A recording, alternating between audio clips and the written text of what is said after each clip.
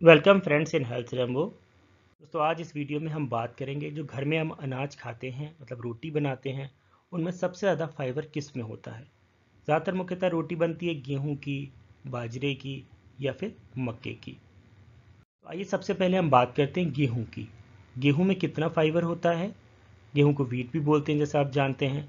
गेहूँ, यदि हम सौ ग्राम गेहूँ लेते हैं या सौ ग्राम आटा लेते हैं तो उसके अंदर जो फाइबर होता है 2.7 ग्राम होता है।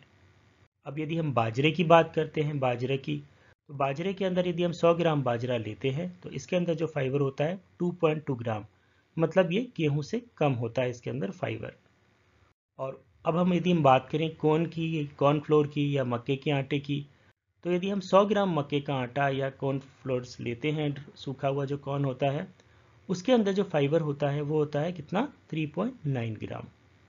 तो अब हमें आंसर इस वीडियो में मिल गया होगा कि किस अनाज में ज़्यादा फाइबर होता है मतलब गेहूँ में, बाजरे में या मक्के में। तो जैसा आप जानते हैं, मक्का के आटे में या मक्का में सबसे ज़्यादा जो होता है, वो होता है फाइबर।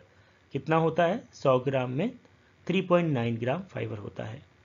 उम्मीद है आपको इन्फॉर्मेशन अच्छी लगी होगी। अच्छी लगी तो प्लीज़ शेयर करें और चैनल सब्सक्राइब नहीं किया तो चैनल सब्सक्राइब करें।